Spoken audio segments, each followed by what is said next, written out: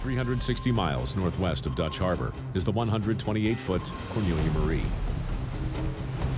Captain Phil Harris and the crew prepped the deck for the first pots of the Opie season. It's a whopping 14 degrees outside. The temperature has dropped. Icing has begun.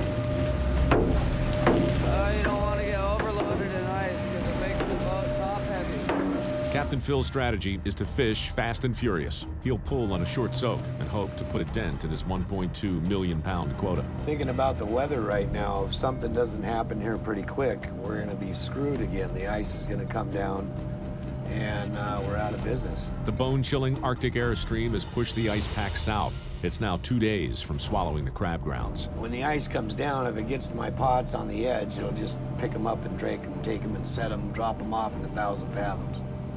So you lose them. I don't know what's going to happen here. I, I really don't. After a near-death experience and months of recovery, What do you mean you can die? Captain Phil is back in the chair, approaching his first string. We're going to haul right into the wind up to the northeast. But the question remains, can he handle the stress of a Bering Sea winter? Yeah, this is the first pod the 09 Opie season. Let's hope there's something in it. If it ain't hell, they ain't happy. The new season of Deadliest Catch, Tuesdays at 9. It's all new on Discovery.